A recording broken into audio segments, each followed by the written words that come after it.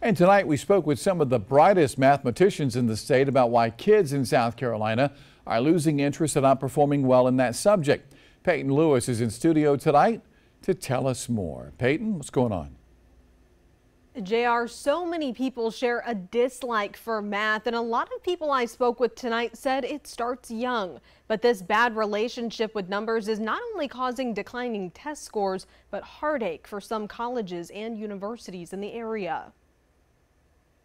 Find these equilibria, and then just like with other differential equations, we can look at the Jacobian, a conversation many might find boring or maybe even dozing off to right now. But these few find it fascinating. Professors, mathematicians, and math students came together to present and share math concepts with their peers over dinner at Columbia College. Then I will know that the values of the functions at the point P. And the reason they think your eyes might be feeling heavy is because you've been conditioned to think that way. I definitely think it starts a lot from you just have one bad experience and then they just never leave it and they just they continue to hate math and it's honestly really sad because math can be fun. A study presented at the International Conference of Mathematics and Science Education showed a decreased interest for students learning math over the last 10 years, saying that less than 9% of students enjoy math lessons. And this reflects here locally in South Carolina as well. Math scores for SC Ready mirror national assessment data, which show a decline post-pandemic. Just 39% of students met or exceeded expectations last school year.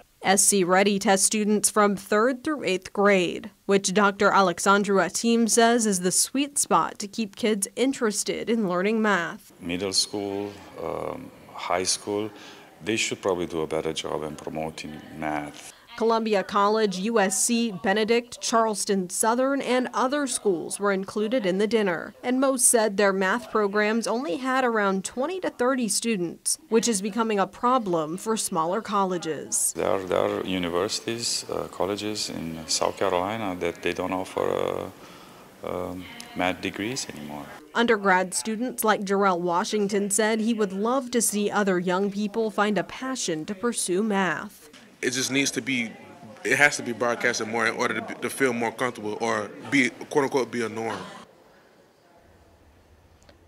And according to the, the, Bureau of Labor Statistics, there's actually a 23% increase in demand for people with math degrees right now. The average salary of a person using their math degree in their career is about $75,000 a year.